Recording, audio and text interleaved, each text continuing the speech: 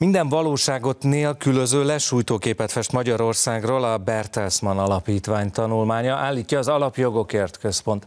Szerintük nyilvánvalóan a politikai károkozás szándékával írták az álszakmai összeállítást, amelynek készítésében egy Soros György által finanszírozott szervezet is részt vett. Az Alapjogokért Központ szerint az alapítvány tudatosan manipulált következtetései sokszor felbukkannak például az Európai Parlament anyagaiban is. Újabb liberális NGO készített álszakértői jelentést Magyarországról.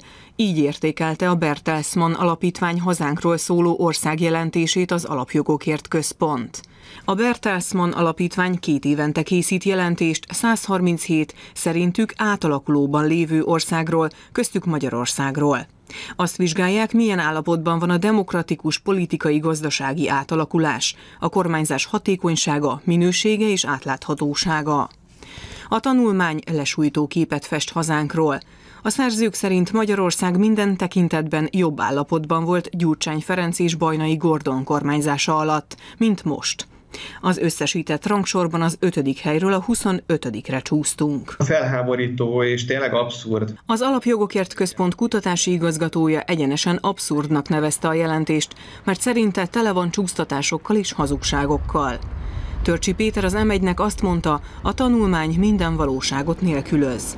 Nem csak a magyar kormányzati adatoknak mondanak ellent ezzel, hanem az Európai Bizottság által kiadott eh, gazdasági és országjelentésekkel is teljes ellentétben van. Törcsi Péter azt hangsúlyozta, a tudományosnak álcázott módszertan konkrét gazdasági adatokat hagyott figyelmen kívül. Példaként említette, hogy a szerzők szerint jobban teljesített a magyar gazdaság a gyurcsány-bajnai időszakban, amikor a GDP összesen 4%-kal esett vissza, miközben az elmúlt 9 évben több mint 20%-kal nőtt. A szerzők azt is állítják, hogy a jövedelmi egyenlőtlenségek terén is rosszabbul teljesít most az ország. Az Európai Bizottság statisztikája azonban mindezt cáfolja. 2017-ben Magyarország a második legjobb kategóriában olyan országokkal volt egy szinten, mint Ausztria, Németország vagy Franciaország. A Bertelsmannos jelentés szerint a nyugdíjasok helyzete is romlott a gyurcsány-bajnai korszakhoz képest. Ezzel szemben szintén Európai Bizottsági adatok alapján 2017-ben Magyarország ebben a kategóriában is az EU élmezőnyébe tartozott. Az Alapjogokért Központ szerint a Bertelsmann anyagait számos kutatás használja. Megállapításai felbukkannak az ENSZ, az OECD, az Európai Bizottság és az Európai Parlament anyagaiban is tudatosan manipulált rossz következtetései ezért beláthatatlan károkat okozhatnak hazánknak.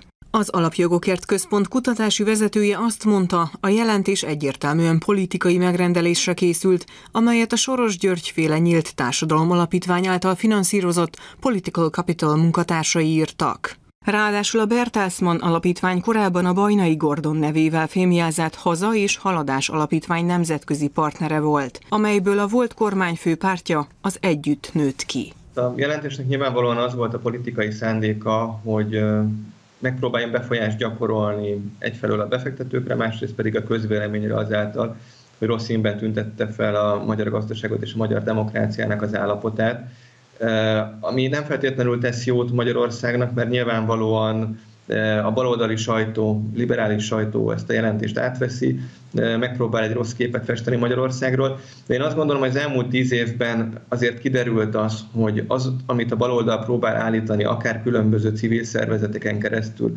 akár a baloldali sajtó próbálja rossz színben feltüntetni Magyarországot, ez nem sikerült ez a, ez a próbálkozás Magyarországgal szemben. Törcsi Péter arról is beszélt, hogy a tanulmány nem most, hanem még a tavalyi országgyűlési választás előtt készült, de csak most közölték. Nem véletlenül.